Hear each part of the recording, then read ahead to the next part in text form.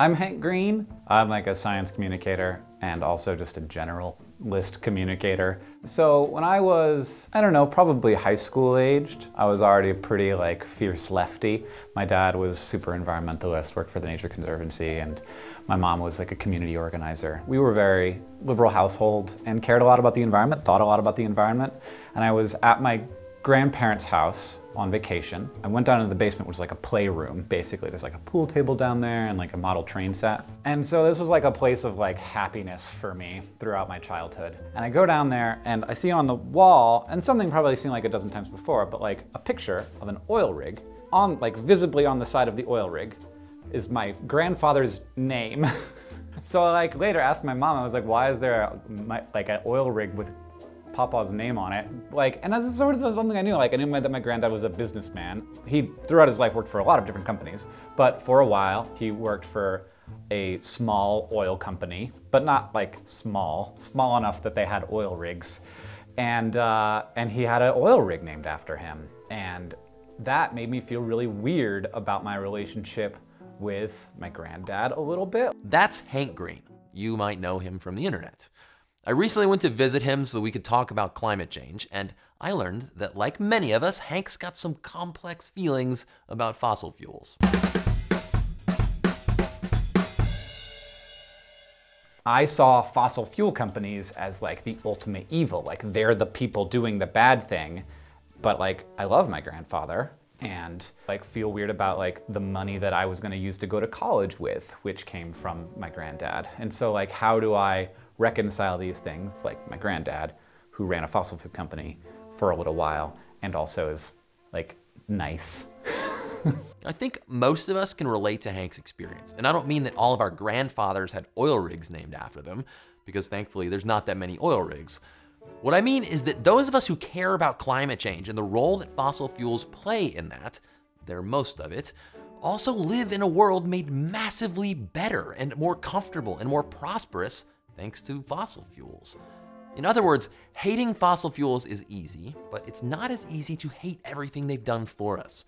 That's a tough thing to reconcile inside your brain, and it can bring up a lot of feelings. My first emotion was kind of shame, I think um, and also like a decreasing of who my grandfather was in my estimation.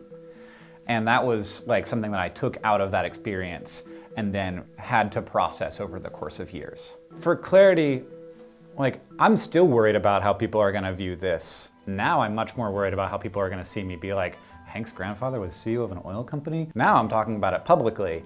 And I feel like the only reason I am doing that, despite the fact that I am a little bit scared of sharing it, is that like it's important to have complicated views of things. And also it's important to be like honest about reality. The reality is that many people think fossil fuels have done a lot of good for the world, so we should keep using them no matter what. And also, many people think that we should stop using them immediately, but they don't stop to consider all the awesome things in their lives that they have because of a century and a half of burning coal and oil and gas. If you're in either group, you just aren't being honest about reality. But when you do stop and consider how awesome life is because of fossil fuels and how awful the mountains of science tell us life will become if we continue to use them like we do, the next stop is often guilt or shame. And no one enjoys that. That feels bad. If it's just a source of weight and shame and guilt and you can't get out from under that blanket, then it's not good. It's like not good for the world. Like we have to turn it outward. We have to think of it in terms of both the, the thing that I'm guilt, feel guilty about and like am guilty of and the thing that I'm grateful for. And like those are the same thing. There's this horrible irony at the heart of solving climate change. It will require people to make difficult personal choices, but one person's choices have basically no impact on their own. So we do nothing. And I think that happens for two reasons. One, the guilt because we realize that we have contributed to the very problem we're trying to solve. And two, we feel powerless in the face of the system. Now, it's natural to feel a little uncomfortable or even guilty when you think about your personal contribution to climate change. I've certainly felt that way. Because if your values tell you that climate change is bad and it's something that we should solve, suddenly your behavior conflicts with your values. And that presents you with a choice. You either change your behavior to be more in line with your ideals, or you tweak your ideals to feel less discomfort. Guess which one people do more often?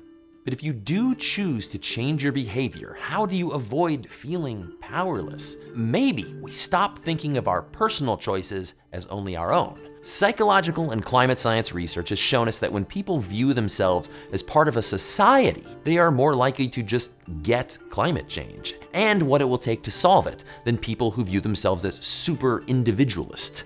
And I'm not calling for like massive socialism or a one world government or something. I'm just saying, consider that even if you are one person, you live in society. And what you do and what you choose can improve society as a whole. If we were able to think a little bit more like, you know, collective society that we are, that that probably would give us perspective that would allow us to be more empathetic to people who have a harder time making those changes, whether that's for values reasons or for practical reasons. And I think it would also like help us realize that like we're not going to solve this one person at a time. We're not going to solve this one person at a time, are we? I don't think so. Hank and I talked about how we are very lucky to even have a choice. One of the benefits of living in such a rich country like we do, and like many and probably most of you do, is that we have the freedom and the ability to choose. We can choose to do things that are better for our climate and our environment. But then what often happens is we think, because I chose this thing, I am a good person. And that's something that I don't like because there are many people who cannot take that action. They do not have the excess labor, they do not have the excess capital. If you are a better person because you have the time and money to shop at Whole Foods and recycle all of your stuff, then are the people who don't have that capital bad people?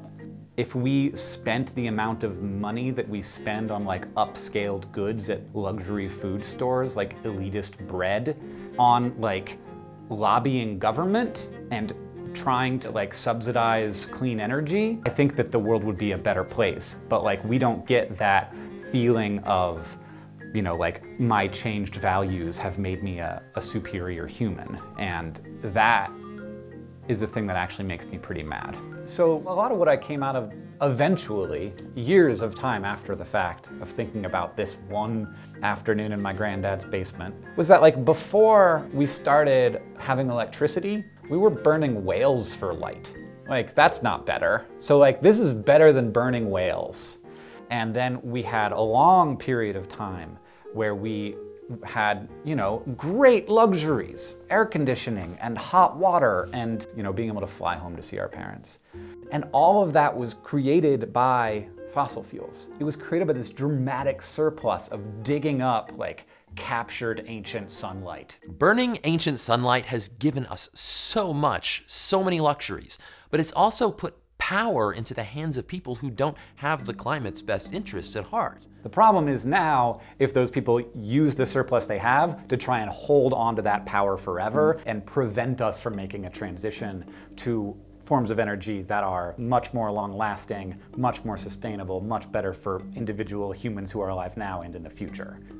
And like that's good. Like it's good that we have the surplus because it's allowing us to take better care of ourselves and to experience a higher quality of life. But it's also we have to dedicate a tremendous portion of this surplus to like getting out from under that system that we have created that is so massive and that we are so dependent on. That system has given us power, literal power, and the power to change how we think about climate change. Ultimately, I've realized that it's not about like I don't deserve this or what do I deserve. It's about like what do you do with the resources you have. Don't feel shame, feel powerful.